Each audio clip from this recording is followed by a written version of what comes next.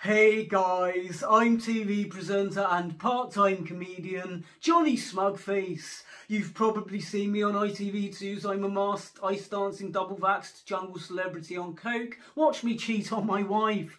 And oh my god, I've just seen the news that DC Comics are going to release a new comic book where Superman is bisexual.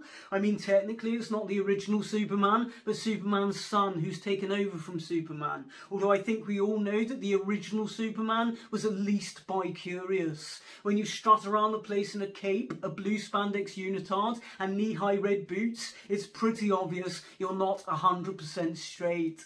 What I'm confused about is that Superman is an alien from another planet, so whether he's banging men, women or farm animals, is it okay to label him bisexual? I mean, the only thing we can truly say about his sex life is that it's interspecial. In any case, as a children's book character, it's high time we found out who Superman's been fucking. No one cares if he's rescuing someone from a burning building or stopping a bus plunging off a bridge. What people really want to know is who's got their dick inside of Superman this week. Is there going to be an edition of the comic at some point where he's being bummed by Lex Luthor?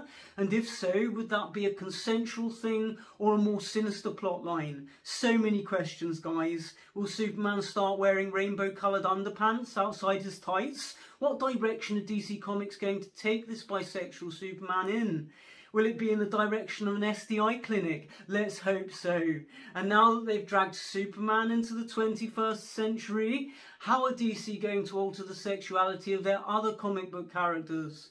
Will the new Batman be a kiddie fiddler? Will Wonder Woman be reimagined as a dog botherer? There are so many exciting possibilities. DC Comics are really reinvigorating their brand for a whole new woke generation and I'm so on board with it and very much available for castings. Bye bye!